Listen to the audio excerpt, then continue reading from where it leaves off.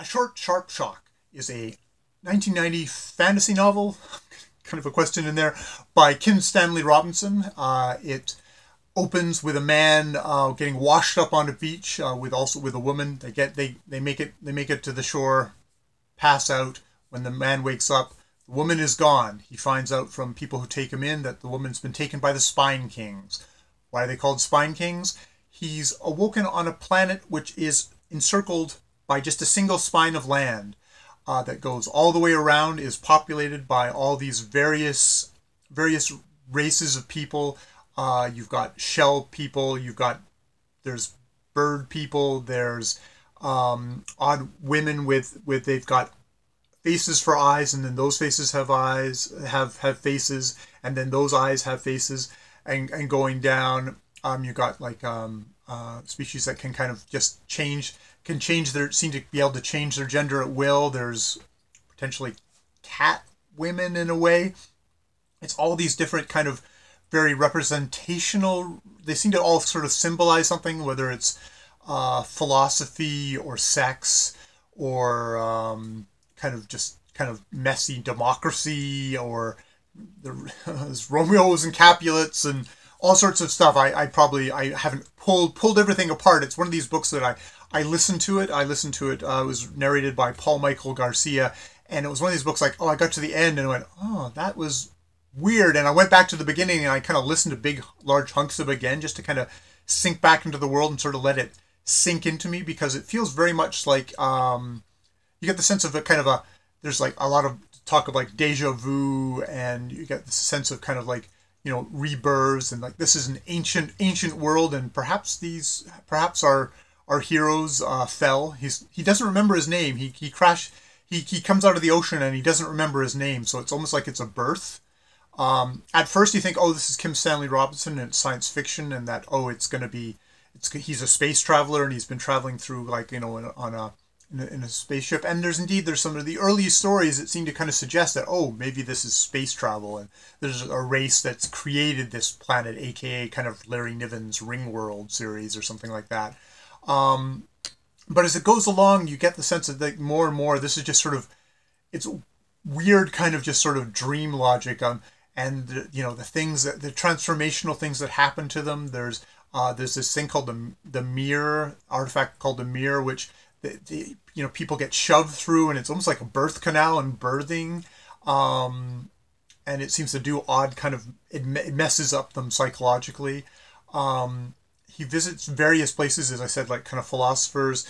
Uh, there's you know stuff on sex which was actually some of the more bizarre stuff which I, makes me do think think of dream stuff because it's one of these things where sometimes a pussy is actually it's a pussy cat, and you kind of get it was weird, kind of squickish, kind of bestiality stuff in there.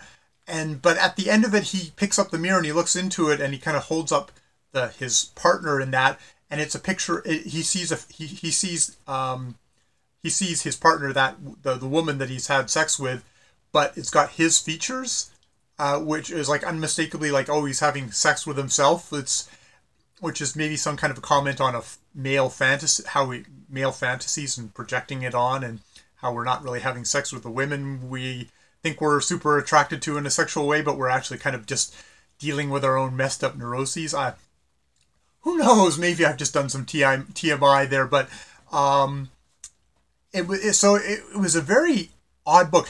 It also had you can tell that um, Robinson is one of these guys who loves nature, loves ecology. Um, he is an ecological uh, science fiction writer. It's not his his his science fiction isn't about kind of cold, sterile metal and space rockets. Even though there are space rockets and there's nothing wrong with them, but he's he's interested in kind of the science fiction of biology, of uh, ecology, of of having such a um, beautiful and intricate and delicate uh, ecosphere that we that we live in, and treasuring that, and and uh, this this basically this whole planet is one big beach, which I have to think for someone who's a water rat like myself, water rats do come up in this book, uh, is, is sort of, a, is it would be a dreamscape. So uh, it's not a book that's going to, people who are into hard science fiction, people who are into uh, kind of straightforward narrative plots. This is very much a dream story uh, where you kind of come back to the beginning at the end and if that's not going to be something that satisfies you if you don't fall into the into the dream find the dream engaging uh, it's not going to be for you. Uh, it's definitely unlike i think anything that i've encountered or heard about with kim stanley robinson before. So i mean if you're someone who's into his writing it's definitely something to check out but it wouldn't be a representational first thing to try just because it's short because it's you get the sense that this is like oh i get to do something cool and different um, it's also actually, you know, just to say, as, it, dream stories like this are perfect for novellas uh, because you have long enough to kind of develop the dream and let people sink into it. But you don't have so long that people get like, okay, I'm bored because I'm still in the dream. So the perfect length, perfect length for this work. Um, yeah, yeah, he's he's uh, Kim Stanley Robinson is one of these fellows that the more I read his books, the more I'm like, oh, I, I, I sort of, from the outside, it's like, oh, yeah, he's kind of hard science fiction guy, Mars trilogy, yada, yada. But the more I kind of go into it, it's like, wow, he's a gorgeous writer.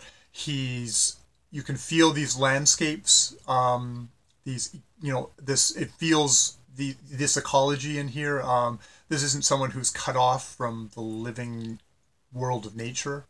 Uh, you know, some someone who uh, you would think you could kind of go from this to a non nonfiction book about um, about seascapes, about beach cultures, uh, and it would just kind of it would, it would mesh very well if as long as you had someone who is as good a writer as he was. So yes, that's my review of a short, sharp shock. Uh, yes, I would say check it out, especially uh, especially uh, very good as a uh, something to listen to. I found that uh, also a kind of it's funny how certain books even uh, it was it, it worked well for me that way. Um, where there are other books that are dense that oh I, have to keep on rewinding rewinding. The dream sort of sense the kind of the flow really i think was well served by listening to this on audio. More videos later